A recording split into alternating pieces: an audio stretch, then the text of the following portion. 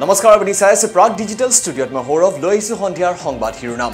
আমেৰিকাৰ ৰাষ্ট্ৰদূতে ক'লে বিদ্যালয়ত হিজাব নিষিদ্ধকৰণে উলংঘা কৰে ধৰ্মীয় স্বাধীনতা। কৰ্ণাটকৰ হিজাব বিতৰ্কই দেশৰ পৰিধি নেওচি বিদেশতো আলোড়ন তুলিছে।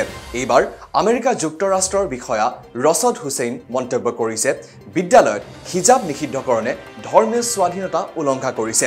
আন্তৰ্জাতিক ধৰ্মীয় স্বাধীনতাৰ বাবে আমেৰিকা যুক্তৰাষ্ট্ৰৰ ৰাষ্ট্ৰদূত ৰখাদ হুছেইনে শুকুৰবাৰে কয় যে কৰ্ণাটকে ধৰ্মীয় পোছাকৰ বাধ্যবাধকতা নিৰ্ধাৰণ কৰিব নালাগে। তেওঁ লগতে কয় বিদ্যালয়সমূহত হিজাব নিষিদ্ধকৰণে ধৰ্মীয় স্বাধীনতা উলংঘা কৰে।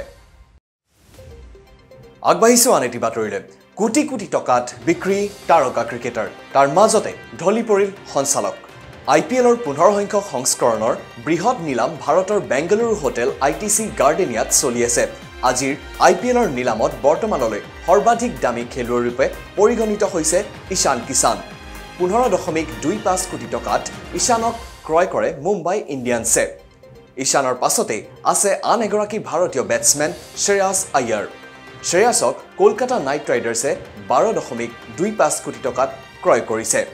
ইয়াৰ মাজতে অনুষ্ঠানটোৰ হোষ্ট হিউ এডমিডাছ হঠাতে মঞ্চত ঢলি পৰে। জানিবলৈ পোৱা মতে দীৰ্ঘদিনৰ পৰা হৃদৰোগত আক্ৰান্ত হৈ আছিল হিউ এডমিডেছ এডমিডেছ অচেতন হৈ পৰাৰ বাবে নিলামৰ সকলো কাৰ্যকলাপ সাময়িকভাৱে স্থগিত ৰখা হয়। আগবাঢ়িছোঁ আন এটি বাতৰিৰে প্ৰখ্যাত উদ্যোগপতি পদ্মভূষণ ৰাহুল বাজাজৰ তেৰাশী বছৰত মৃত্যু।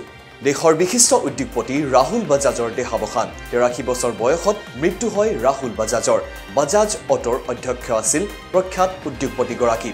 এপ্ৰিলত অধ্যক্ষৰ পদ ত্যাগ কৰিছিল বাজাজে।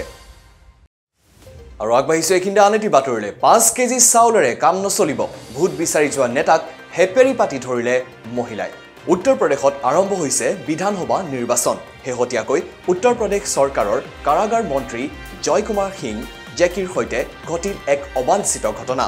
যোগী চৰকাৰৰ মন্ত্ৰী জয় কুমাৰ জেকিয়ে এইবেলি ফতেহপুৰ বিন্দিকি আসনৰ পৰা বিজেপিৰ সহযোগী আপনা দলৰ প্ৰাৰ্থী হিচাপে প্ৰতিদ্বন্দ্বিতা আগবঢ়াইছে। নিৰ্বাচনী প্ৰচাৰৰ সময়তে যেতিয়া জেকিয়ে ভোটাৰৰ ওচৰলৈ গৈছিল তেতিয়া মহিলাৰ এটা দলে তেওঁৰ বিৰুদ্ধে অভিযোগ উত্থাপন কৰিছিল। জেকি আৰু তেওঁৰ সমৰ্থকসকলে তেওঁলোকক কামৰ বিনিময়ত পাঁচ কিলোগ্ৰাম শস্য দিয়াৰ কথা মনত পেলাই দিছিল।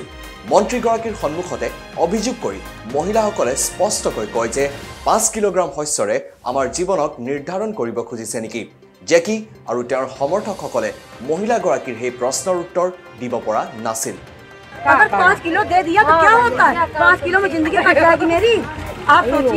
আৰু এয়াই আছিল আজিৰ সন্ধিয়াৰ সংবাদ শিৰোনামত। আৰু এতিয়া মই সৰুভে লৈছোঁ ষ্টুডিঅ'ৰ পৰা বিদায়। প্ৰাগ ডিজিটেল চাই থকাৰ বাবে ধন্যবাদ।